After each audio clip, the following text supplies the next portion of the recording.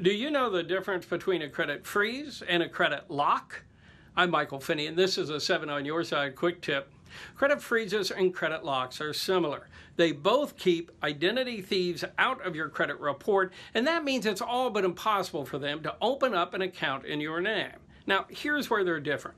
Credit freezes are mandated by law. That means they're free and you get more protections. But credit locks are often more convenient and easier to use. So which one do you pick? The one that works for you. The important thing is that you pick one of them because leaving your accounts unprotected is not wise.